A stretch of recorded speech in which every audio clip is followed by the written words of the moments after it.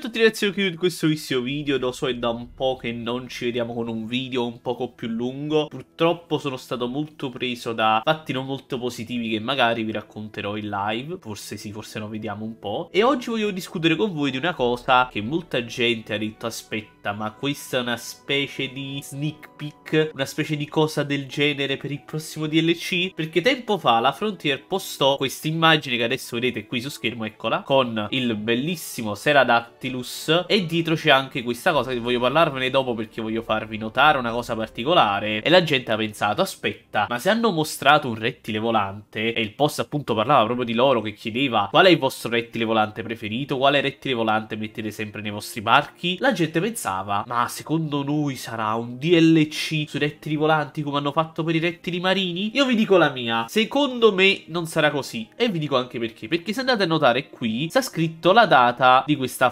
foto e nel copyright praticamente vediamo scritto che è 2021 ed è un poco strano perché è appunto una foto vecchia allora. Perché mettere una foto vecchia per parlare di un DLC potrebbero comunque farlo perché comunque insomma la foto potrebbe essere collegata ai rettili volanti. Ma secondo me il prossimo DLC non sarà su di loro siccome la Frontier sta facendo una cosa molto particolare ovvero di mettere tutti gli animali mancanti di Camp Cretaceous l'altra volta con i rettili marini hanno messo i notosauri dinosauro. Nell'ultimo DLC che abbiamo avuto hanno messo il tarbo, quindi magari o fanno un DLC sugli ibridi, anche se pure quello lo vedo strano, oppure sarebbe figo il DLC sui mammiferi preistorici. Anche quello potrebbe essere molto difficile da realizzare, ve ne ho parlato in un altro video, ma comunque questa foto secondo me non è collegata a un DLC. Però c'è una cosa molto particolare che ho notato grazie a un post su Reddit, che questa struttura qui, la galleria panoramica, la torre panoramica, insomma, è diversa da quella che possiamo mettere noi in gioco. In che senso? Quello che noi possiamo mettere in gioco ha una struttura centrale qui, questa specie di parte, vedete? Ce l'ha di legno. Invece quella che vediamo nella foto ce l'ha di cemento. E questa struttura in realtà è presente attualmente in game, ma solo nella modalità teoria del caos di Jurassic Park 3. Praticamente questa è la struttura dell'era Jurassic World, è solo disponibile in quella mappa mappa. Cosa molto particolare e molto strana, ma non è l'unica struttura disponibile in quella mappa che è praticamente sbloccabile solo lì, utilizzabile solo lì, perché appunto il punto di arrivo, appunto il punto di arrivo è un poco strano, però insomma, il punto di arrivo di questa mappa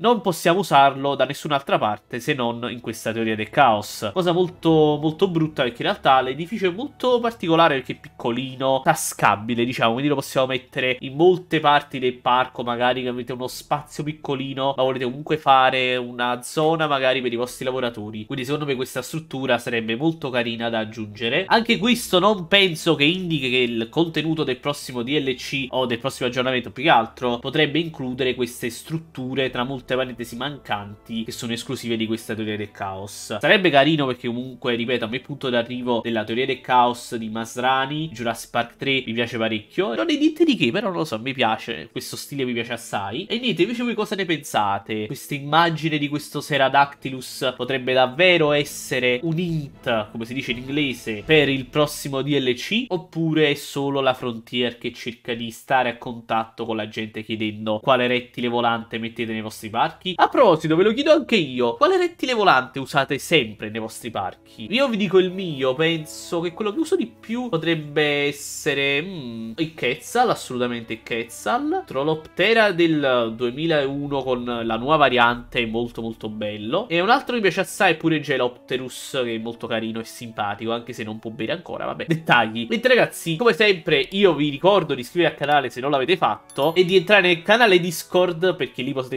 parlare con me liberamente di qualsiasi cosa, e ci vediamo ad un prossimo video, magari con notizie belle, focose e grosse notizie sul nuovo DLC. Ciao gente, ciao!